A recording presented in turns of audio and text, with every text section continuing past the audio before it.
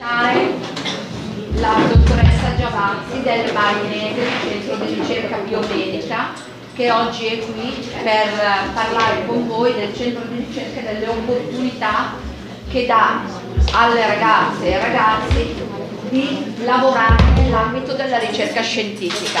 Quindi voi qui adesso ci sono tanti studenti delle scienze, studentesse, studenti delle scienze applicate, dello scientifico, qualcuno anche del linguistico Ecco, questo è un grande è una cosa molto positiva perché non sempre le ragazze e i ragazzi del linguistico si appassionano alle discipline scientifiche però avervi qui oggi è molto bello, è interessante, è un progresso dell'offerta formativa. Oggi quindi è un incontro sull'orientamento. Il Club Sor Optimist, che è qui rappresentato dalla dottoressa Di Landra e dalla professoressa Mussini, che avevo visto, oh eccola qui davanti, non so se mi spiego l'età, gioca tutti scherzi. Eh, sono, è il club, club di donne che hanno avuto successo nel lavoro e nella professione e che però si vogliono occupare del loro territorio offrendo le loro eh, competenze per lo sviluppo e la crescita del territorio sono qui oggi ed è grazie a loro che abbiamo questa opportunità che ci giocheremo al meglio quindi è un onore per me adesso introdurre la dottoressa Giavazzi, ringrazio il Club Sor Optimist per eh, l'occasione che ci dà e vedremo di fare di far fruttare questa occasione e tutte le altre che si presenteranno. Grazie mille. Eh, recentemente eh, la dottoressa è diventata la responsabile della ricerca scientifica dell'Istituto Mario Negri di Milano che eh, penso sappiate è uno degli istituti più famoso in Italia eh, per la ricerca, è stato fondato direi circa 50 anni fa dal professor Garattini eh, che recentemente ha compiuto 90 anni ma che sembra una persona valida ed è veramente uno dei poli di ricerca scientifica d'Italia che ci fanno onore in tutto il mondo. Quindi è solo un piacere per noi avere qui la uh, dottoressa. Da che cosa nasce questo, uh, questo essere qui noi stamattina? Eh, donne che dobbiamo parlare soprattutto alle studentesse perché eh, questo è nell'ambito del progetto nazionale che si chiama Si fa STEM. Eh, praticamente eh, stiamo facendo questa campagna eh, a livello proprio di tutti i club italiani che sono circa 150 per favorire che anche eh, le ragazze e non solo i ragazzi possano intraprendere le carriere scientifiche. Eh, perché diciamo un po' semplicemente noi donne non siamo da meno, spesso ci facciamo condizionare fin da bambine dall'ambiente in cui viviamo eh, ci sentiamo un po' inferiori ai maschi e anche se poi dal punto di vista dello studio e eh, di quello che rendiamo non, non siamo assolutamente inferiori. Spesso, eh, come sapete, si intraprendono delle carriere letterarie eh, per le quali ormai c'è più offerta rispetto a quella che è la domanda e spesso c'è una gran difficoltà anche a trovare proprio un lavoro in questo ambiente. Quindi da qui questo eh, nostro eh, progetto che vedrà poi, questo è il primo eh, incontro, eh, a gennaio dovrebbe anche essere qui con noi una eh, studentessa dell'istituto MIT di Boston che vi parlerà della, di quello che fa eh, lei eh, in questo istituto e di come è arrivata. Non voglio dilungarmi di più, lascio la parola alla dottoressa e la ringrazio ancora per essere qui con noi.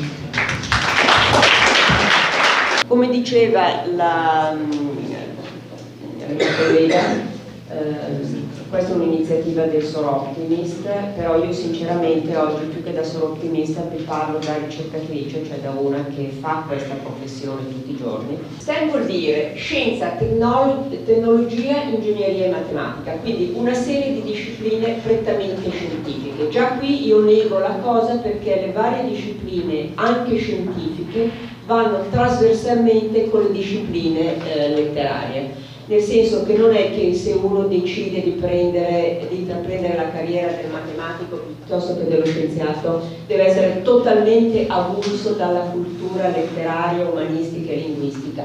Anzi, secondo me se uno ha una cultura umanistica e linguistica, come sento qualcuno di voi, sarà un perfetto ingegnere, un perfetto matematico, un perfetto scienziato. Quindi non pensate che ci siano due separati, assolutamente no. È però vero che al giorno, anzi, vi dirò ancora una cosa di più, io ho fatto il liceo scientifico, ma francamente dovessi tornare indietro forse farei il liceo classico pur facendo questa attività, perché è una cultura di base eh, molto forte e molto utile nella tua vita. Quindi tenete presente che se siete dello scientifico, del linguistico, del, um, del classico o anche eh, se fate una cosa più tecnica, potete lo stesso fare STEM.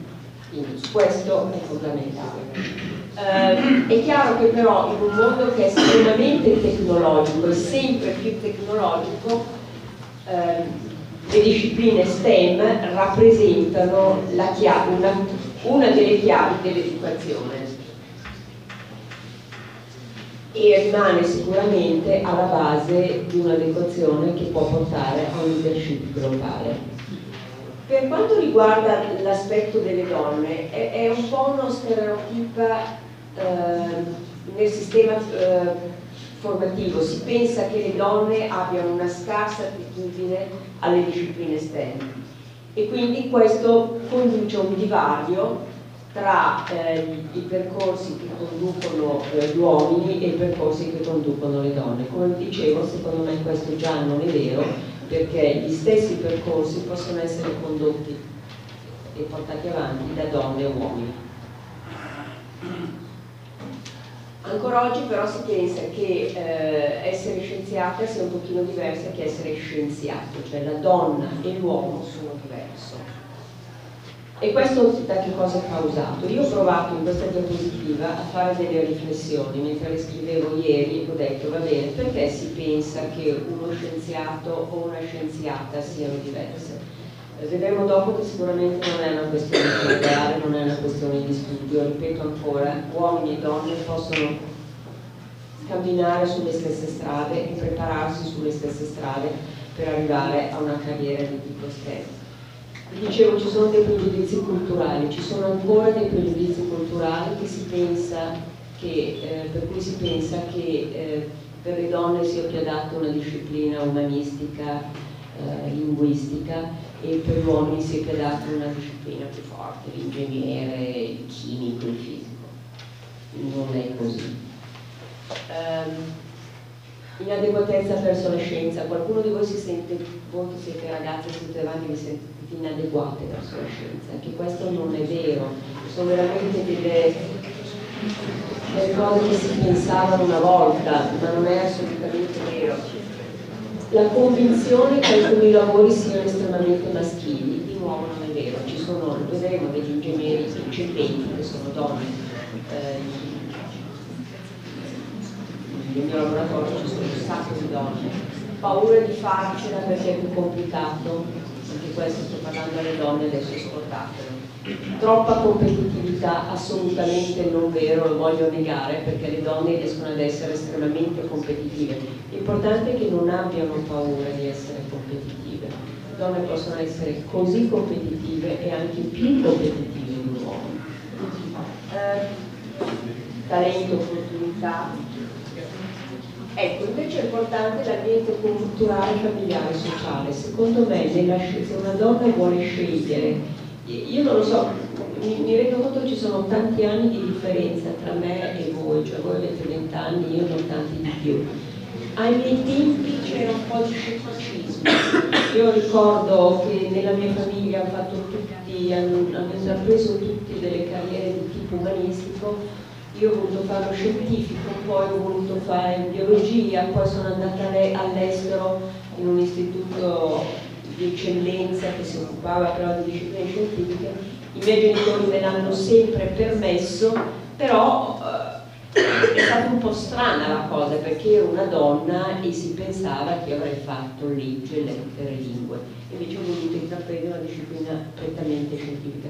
Io non credo che questo sia più un problema delle vostre famiglie, però un pochino di reticenza c'è ancora, soprattutto se andiamo a pensare non tanto al fatto di dire faccio il biologo, il biologo in fondo lo può fare donna, ma solo vuol fare il fisico, l'ingegnere, ancora un pochino di...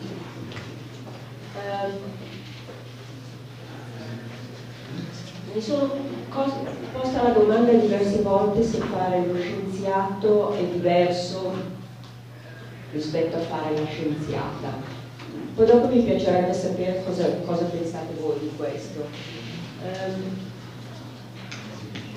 meno opportunità di lavoro per una donna, meno visibilità, meno guadagno, questo sì, ancora oggi eh, questa è una cosa che purtroppo c'è ancora, per una donna ci sono meno, meno opportunità di lavoro, ma non è che l'opportunità di lavoro sia meno, è che quando tu a un certo punto ti trovi di fronte a un datore di lavoro, ancora oggi in certe discipline, soprattutto in certe discipline, ripeto ingegneri, fisica e così, il datore di lavoro tende a dare il posto all'uomo piuttosto che alla donna e qui dovete farvi valere voi eh, meno guadagno, è vero anche questo, guarda caso, e io adesso lo so perché io finalmente adesso conosco gli stipendi, fino a un anno fa gli stipendi non li conoscevo, perché non coordinavo per niente, per cui conoscevo il mio di stipendi. Adesso che coordino la ricerca di un istituto con 500 persone, gli stipendi li conosco. Ed effettivamente c'è una tendenza a pagare un pochino meglio l'uomo, c'è una tendenza a dare i posti ai vertici all'uomo nel mio settore questo è vero. Secondo me però tutto quello che vi ho detto, dico, ci, ci c'è un po' di retaggio nel pensare che nelle discipline STEM ci sia una differenza tra uomo o donna, però secondo me rimane un pregiudizio, non è assolutamente. Non si deve pensare che le donne siano diverse dagli uomini e quindi sto veramente convincendovi che potete farlo questo ammesso che non siate già convinti. Qualcuno parla di cervello, ho voluto mettervi questo perché l'ho trovato sul sito. Si dice che le donne hanno il cervello più piccolo degli uomini. È verissimo. Se andiamo a pesare la massa corporea, la massa cerebrale di una donna rispetto all'uomo, è più piccolo.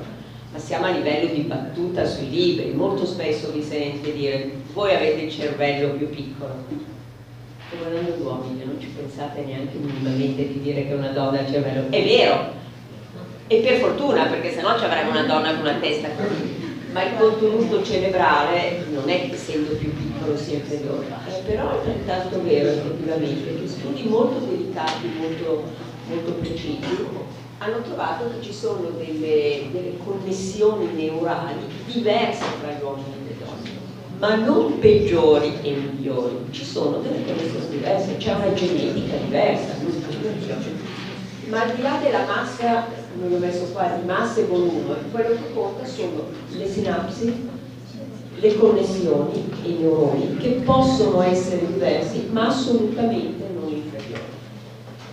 Quindi non è, ripeto ancora, non è un discorso di genere il fatto che una donna sia più o meno portata alle, alle STEM. La donna è portata come l'uomo alle STEM, ma in modo diverso, con del pensiero diverso. D'altronde la storia, perché noi vediamo ancora oggi che forse ci sono meno donne? Andiamo a vedere perché c'è questa differenza di genere. Abbiamo detto che non è una differenza di cervello, perché il cervello delle donne è eccellente come il cervello dei uomini, con qualche diversità poi lo vedremo anche questo. Però se andiamo eh, indietro nella storia, vediamo quali sono le cause che ci ha portato, che ci portano tra l'altro oggi a fare questo discorso, perché siamo, ogni tanto mi domando, ma perché siamo qui a fare questo discorso?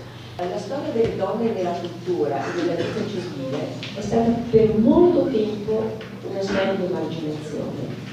Lasciamo perdere il fatto che la donna è da poco che vota, in certi paesi non vota ancora per la politica, ma dal punto di vista della cultura in certi paesi, fino all'inizio del XX secolo, alle ragazze era precluso l'accesso allo studio, era precluso l'accesso all'università.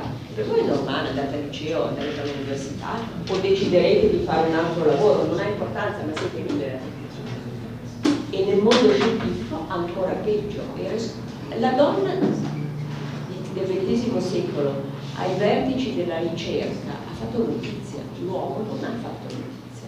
È per questo che c'è ancora questa differenza. È da questo che nasce questo pregiudizio per cui eh, eh, le donne sarebbero meno adatte a determinati giri. Guardiamo qua, ho provato a raccogliere però una serie di donne che sono diventate importanti nel mondo esterno, ce ne sono molto di più, ho messo quelle così che mi, che mi piacevano, che mi sono simpatiche. La cosa sorprendente è che fanno notizia eh, ovviamente tutti voi conoscete Marie Curie, per forza, è, è una storia a sé, hanno fatto libri, hanno fatto film, perché una donna all'inizio del Novecento è stata in grado innanzitutto di laurearsi, due lauree, premio Nobel, ha scoperto tutto quello che poteva scoprire ed era una donna, quindi è sorprendente ha fatto notizia Rita di Montalcini, hanno fatto meno notizia uomini che hanno raggiunto gli stessi livelli, perché noi abbiamo avuto altri premi Nobel in Italia nelle materie scientifiche, ma non hanno avuto la stessa notizia una donna ai vertici. Eh, la Giannetti, che adesso è direttore del CERT di Genova, posizione eccezionale. Certo, sarebbe stata una posizione eccezionale anche per un uomo, però per una donna fa notizia. Eh, tenete presente, uomini e donne sono diversi, le donne, io devo difendere le donne, le donne possono raggiungere i vertici esattamente come gli uomini, le donne e gli uomini devono però essere consci che hanno delle attitudini molto diverse, che si comportano in un modo diverso. Ad esempio, che l'ho messo in queste diapositive, la donna deve essere consapevole delle proprie caratteristiche, il fatto che non deve abbrutirsi. Una donna carina deve rimanere una donna carina, non deve vendersi per questo, ma non deve neanche abbruttirsi e cercare di assomigliare a un uomo. Una donna Qualcuno nelle scienziati che avevo mostrato prima dice, eh sì, quella è fisica, è stata la prima fisica ma non è una donna. Ma cosa vuol dire? Solo perché andava in giro con i capelli corti, questo non ha senso. È una donna e rimane donna. La donna deve essere consapevole delle proprie. Secondo me, nel mio settore, la donna è più intuito dell'uomo. Io ho 20, avevo 20 o 30 persone nel mio laboratorio che lavoravano con me tutti i giorni, fondamentalmente donne ma anche qualche uomo. Non ha più intuizione la donna, ha più flessibilità dell'uomo, è molto determinata e secondo me anche un pochino di ironia dell'uomo, delle ottime qualità della donna. La donna le deve mostrare queste qualità, gli uomini hanno delle altre qualità per parlare. Devo le donne sono un po' più pericolose per esempio degli uomini. Ehm, nel mio laboratorio le donne qualche volta sono entrate, io stessa mi metto a piangere più facilmente degli uomini, va bene, è diverso quello che voglio dire è che le donne hanno delle caratteristiche che devono buttare sul piatto, gli uomini hanno delle altre caratteristiche che dovete buttare sul piatto. La donna però non deve scimmiottare l'uomo, se vede che un, suo, un proprio collega sta avendo successo perché fa una certa cosa, dire, beh, per prima cosa lo faccio anch'io. No, tieni fuori le proprie caratteristiche e vedrete che avrete successo allo stesso modo e vedrete che diventerete professori ordinari e non vi limiterete a fare i ricercatori. La ricerca oggi è straordinaria vi, dico solo, vi racconto solo due cose secondo me fantastiche. In un momento fantastico. Uno, il fatto di avere studiato il genoma. Questo ci permette adesso di capire quali sono le, di conoscere quali sono le alterazioni a livello dei geni e di conseguenza se noi riusciamo Questo vale non solo per cancro, questo vale anche per tantissime altre malattie di tipo genetico, per esempio. Se noi riusciamo a capire nel cancro ad esempio ci sono tante mutazioni, cioè dei geni che dovrebbero essere normali sono alterati e la combinazione di queste alterazioni porta a queste malattie devastanti. Allora, noi adesso abbiamo gli strumenti per conoscere quali sono queste alterazioni. Stiamo sfruttando la conoscenza di queste alterazioni, cosa che è successa tutta negli ultimi anni, tra l'altro vi dico solo una cosa, se voi fate conto che quando io lavoravo negli Stati Uniti, che si è cominciato a studiare la genetica, per conoscere una mutazione sul gene ci vorrebbero 3 o 4 mesi, adesso in 10 minuti io vi dico dov'è la mutazione, quindi i tempi si sono accelerati. Una volta scoperte quali sono le alterazioni geniche, quello che noi farmacologi stiamo facendo, stiamo cercando di identificare come fare ad aggiustarle con dei farmaci o con degli altri strumenti. L'ideale con una terapia genica e adesso di nuovo c'è uno strumento che permette in pochissimo tempo di, una volta conosciuta l'alterazione genica, di ripararla. Ora, la domanda è, ma perché non lo fate in 10 minuti? Primo perché conosciamo tutte le mutazioni, secondo perché non sempre abbiamo il farmaco contro quelle mutazioni, ci sono dei casi in cui funzionano benissimo, c'è per esempio un tipo di tumore al polmone ma che coinvolge il 10% dei pazienti che ha una certa mutazione ben precisa, è stato disegnato un farmaco contro quella mutazione, ci sono anche leucemie in questo senso, e quindi uno va agire. Però purtroppo eh, non, non, abbiamo farmaci per tutte le mutazioni, ma la cosa più un po' che ci fa restare male in certe situazioni è che i tumori sono molto eterogenei. Per cui noi sì riconosciamo le mutazioni, ma quando abbiamo 10, 20, 30, 40, 50 mutazioni non sappiamo dove metterci le mani. Per cui stiamo studiando a volte cercare di capire se ne individuiamo poche in modo di poter agire.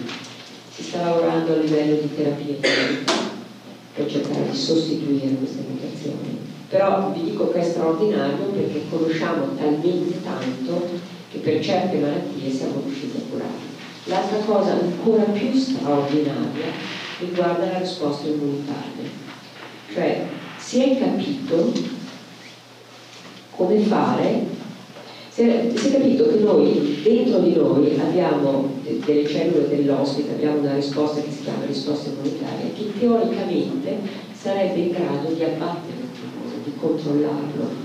Fino a qualche anno fa